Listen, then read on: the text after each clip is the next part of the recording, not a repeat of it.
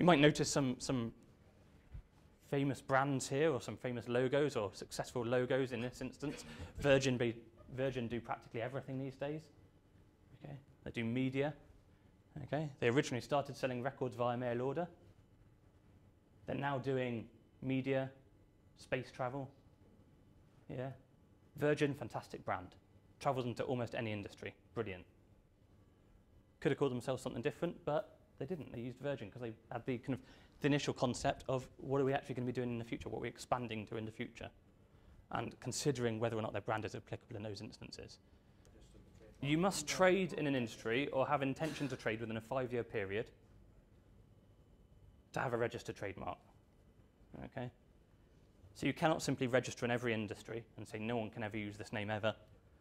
All they have to come along is show that you aren't trading and have no intention to trade. You must prove your intent to trade. If you can't do that, you'll lose it. Okay, and we'll come on to the different classes in a, in a, in a little bit, okay? But we will not accept trademarks that are customary in your area of trade, describe the goods and services, are not distinctive enough in your industry, are offensive, for example, or against the law, are deceptive. Um, we did have this. Do you think this would get registered as a trademark, the slogan? It's good, yeah? It's good. I agree. Fantastic marketing. Would we register it as a trademark, do you think? Have we all spotted why the issue might arise? It's clever, it's clever but might be arguably somewhat offensive. Yeah? So we might reject that. Does it stop them using it? No, it just means they're not going to get protection for it. FC UK is another one. That's fine. French Connection UK. That's okay. It's the way that it's used which can be a, bit of an issue. Okay, and if the way they're using it is dodgy, then trademark law might not protect them in that instance, but it would protect them in other instances where they're using it. Okay? Laudatory terminology and words in common usage in an industry cannot be registered as trademarks, generally. Gillette, R in a circle, we've learned this already. R in a circle means registered trademark. The best a man can get means TM, which generally will tell us that they haven't got a registered trademark. They might do, okay? They don't have to use an R in a circle if you've got a registered trademark. You're still welcome to use the TM. So do be a little bit cautious about that. But in this instance, they haven't registered that. Because the best a man can get is laudatory and somewhat descriptive. Mr. Kipling, registered trademark. Exceedingly good cakes, registered trademark. Fine. Exceedingly good cakes is laudatory descriptive. Yeah? Would we not agree? But they've established a reputation for it. So you can get a, a registered trademark, which initially would be rejected if you can establish reputation in, in that industry for it. We've had shapes as registered trademarks, might accept uh, or, or, notice similarities here, or things that might be uh, looked at. Refused initially for the, the, the tablet attempt at registering, not fully graphically represented there and it doesn't really distinguish them, arguably, from any other tablet that looks very similar. Maybe agree. However, the apple, or the, what they're trying to protect here is the 3D look of the apple in showing us pictures around it. Why not? Unique and distinctive for their software business. We've touched on this already, domain names, company name, okay? Do consider it separate from your trademark application getting them all covered, your social media, domain name, and your company name through Companies House, all important aspects to look at as well as your trademark. So look at each of them. Be inventive with your trademark. Google. Okay, wh how did they come up with that? It was an intentional, intentional misspelling of googol, which is one followed by a thousand zeros. Hence the trademarks. They've jigged it slightly. Starbucks, character in Herman Melville's Moby Dick. Coincidentally, Costa was his best friend. Yeah, that's a lie. Uh -huh. I was trying to see who'd actually read the book. Okay. J.D. Wetherspoon, okay, apparently, allegedly named it after his teacher who told him he'd never amount to anything. So, uh, good name there, fair enough. Amstrad, Sir Alan Michael Sugar Trading, smashed it together. Intel is integrated electronics smashed it together. Again, integrated electronics, you might argue, is descriptive. It's what they sell. But Intel, a bit more inventive. South Wales, Mike and Terry's lawnmowers, or MyTab. Do an infringement search. Find out what's out there already. Avoid expensive mistakes. Find out if someone else is already using your trademark and has registered and doing something the same as similar to you. Okay? Or maybe you'll find out that there's nothing out there already registered, and you can register it freely. If there is something that you find similar or the same, consider what that business is doing. If you're doing web design and their photography, is that closely linked to what you're trading as? Are they similar industries? If not, you might be okay. Okay, if they're identical trademarks or if they're similar trademarks. AZDER for my supermarket. Is that okay? ASDA. Is that okay? Sounds exactly the same as ASDA. That's probably an issue. It's similar to the ASDA trademark, and it's in the same area, so probably stopped. Okay, it will raise awareness. It's a free searching tool, doesn't cost you a penny to do. Okay, you can have a look on it. Okay, do consider your name in separate issues to this. What does it look like? What does it translate to? Um, is it going to represent your business um, successfully? Um, that's itscrap.com um, and Pen Island. Um, but we've identified the dodgily minded around us here today um, for custom made pens. Okay. Is that something you want representing your business as your domain name? Again, we are Satan, uh, or Satan, I think is what I intended. This is clearly a pagoda in front of a red sun, guys. red sun pagoda, yes.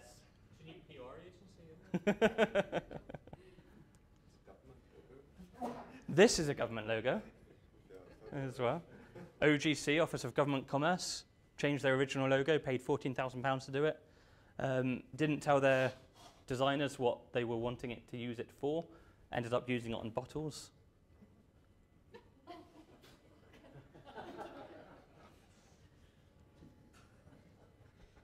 Is that appropriate for government department? The answer is no. very careful government department, thank you very much. Not necessarily the best image that you want uh, associated with a, a department, so do consider your trademark, be it the name itself, okay, is it appropriate for a domain name? Does it transfer to different industries, different markets, different countries?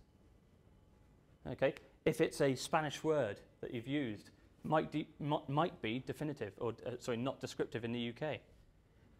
But it might be exactly what the product you're selling is in Spain. Therefore, when you try to expand your business into Spain, you're not going to get protection.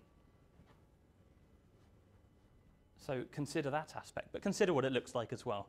Okay, as it happens, our Office of Government Commerce had a very good spokesperson at the time who said not inappropriate for an organisation looking to have a firm grip on government spend. So I think they somewhat redeemed themselves. An application for a trademark will cost you £170 plus £50 per area of business on top of the first for 10 years protection. So classes of goods, there's 45 goods and services. What are you doing? What you're trading as, what you're doing, selling cars, computers, software, photography. Okay, the, the services marks will be in the 35-45 area. Okay. Determine what it is you're trading as. This will help you identify whether or not a business is similar or same as yours. Okay, the colour purple that we discussed earlier for Cadbury's, at the same time was also registered for a cat food. Any ideas who? Whiskas, registered trademark. Both of them were registered at the same time. There was no issue with infringement because they were a significantly different industry. We didn't think the general public can walk into Tesco's or Asda looking to buy a bar of chocolate and get confused, walk out munching a tin of cat food because it's the same colour and get a little bit confused about the quality of the chocolate bars that have, that have come from it. No issue of trademarks here because they're different classes of goods. So 170 for your one area. You might find you're in one, two, three maybe areas of business, plus 50 per extra areas on top of the first. 10 years protection. Once registered, you should get protection within five months. Okay. and then you can use that R in a circle, okay? Assuming it's valid. Assuming you've done your search already to make sure it's not infringing. Doesn't cost a penny to do, remember? Might as well search it. Takes you about five, ten minutes. You can do, do that on our website. I'll point to the website a little bit later.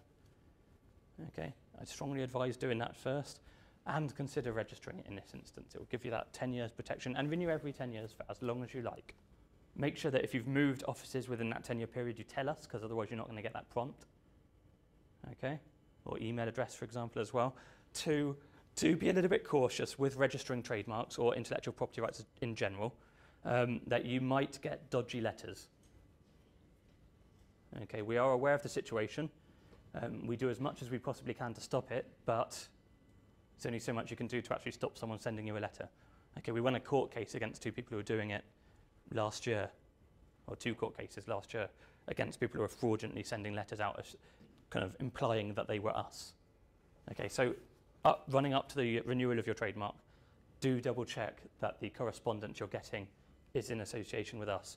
Basically, if it fits within the £170 plus 50 odd, that's probably us.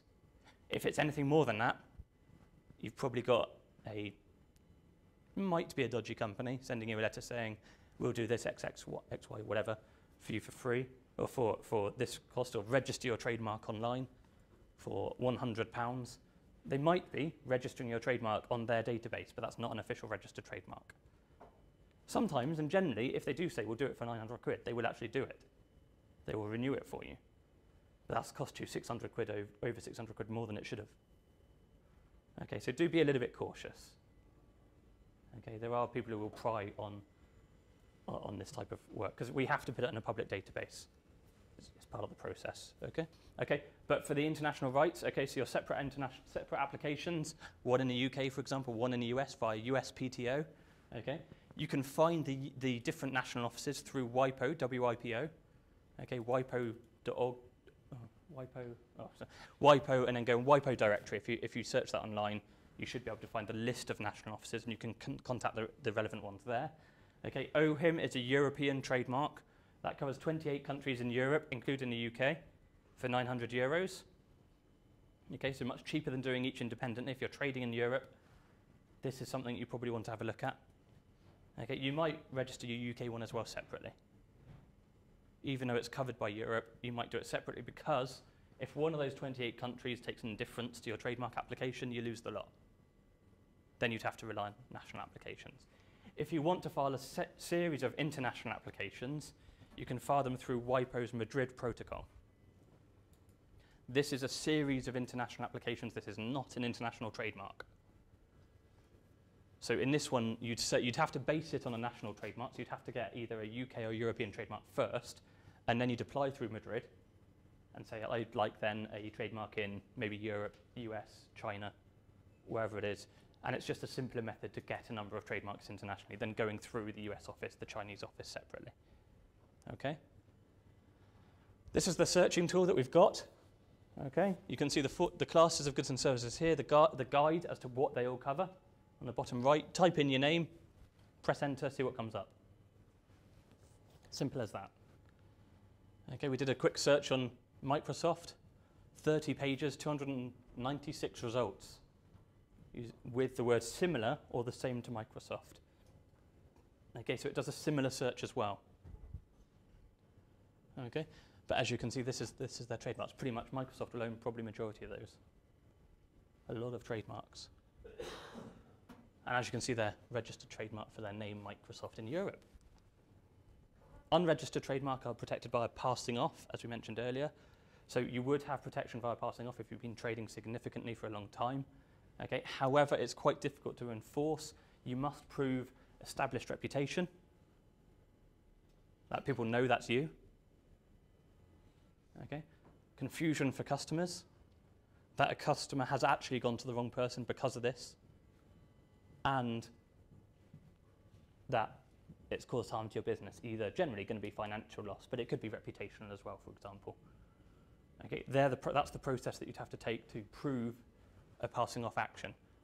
And you would use your unregistered rights to, to stop competitors in that instance. If they're trying to register a trademark and you haven't done it yet, you could argue via an unregistered right to, to prevent it.